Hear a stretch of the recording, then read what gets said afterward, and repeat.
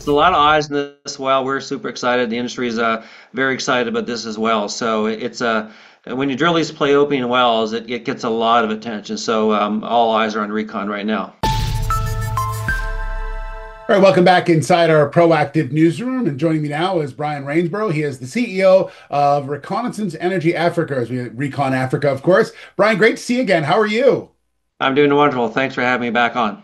Yeah, well, you've had some uh, significant news out yesterday, giving everyone a bit of an update on on where you're at as far as the drilling is concerned on Kavango West. Uh, let's update everyone. You're happy with where you're sitting right now? Oh, we certainly are. So the Kavango West well, we we spud the well very late July. And the the rig and the team and country are doing an excellent job at drilling this well. Uh, we're down around 1,900 meters right now, uh, drilling very well, very safely. And uh, we expect to hit the next casing string uh, within the next couple weeks, around 2,400 meters. And that's the last casing string that we'll have before we drill into the main objective, which is the Otavi Reservoir. So, uh, super excited about how the team is performing, uh, and we're anxious to get down in that reservoir.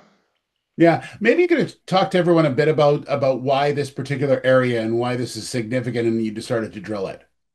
Yeah, no, absolutely great question. You know, the Fold Belt's a new play uh, in Namibia. Uh, we drilled our first well late last year called Naingopo. Uh, got some really encouraging news on that, uh, and that led us to drill the Kavango West well. Uh, this is a fold belt, and these fold belts are large in extent, and, and this prospect in particular uh, has a lot of size to it. It's going to tell us a lot about the potential in this region. You know, our estimates through our third-party auditors around 340 million barrels of oil, uh, unrisked around 34, uh, 30 million risked. So uh, this is a game changer if it if it works, and we think this is a great prospect. It has all the elements we like to see in the petroleum system.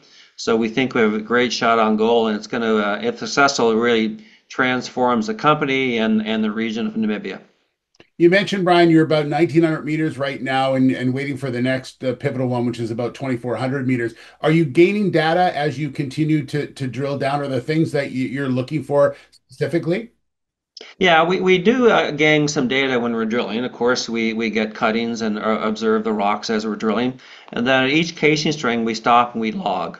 Uh, so we'll see what we, we have. But we're not really in the main objective. Uh, we don't expect anything when we're drilling right now. Uh, we really think all the excitement is down in the Otavi Reservoir uh, below 2,400 meters. Now keep in mind, once we start drilling Otavi, we're going to drill around 1,500 to 1,800 meters of that uh, reservoir section. So incredibly thick section, all within four-way dip closure. So a very prospective section to go through in, in October. Yeah, and, and lastly, Brian, um, you're going to sort of providing updates as you go along until until you're sort of at the end of this. Is that is that the idea, of the plan? Yes, uh, operational updates. Uh, we really don't like to disclose, it's not industry protocol to disclose uh, information as you fly, as you drill. Yeah, Just because sure. we want to get the total depth, we want to analyze everything, have a high level of certainty of what we see, and then disclose everything so we have a full picture of what we have. Yeah, I'm sure you get asked about it every day, so I thought I would as well. So. I do.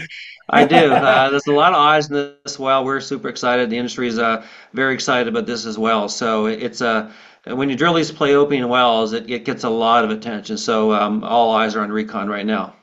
Absolutely. All's well with the well so far. There you have it. Brian, thanks yes. so much. Good to see you again, my friend. We'll talk soon. Wonderful. Thank you so much for having me. All right. There's Brian Reinsborough. He's the CEO of Recon Africa.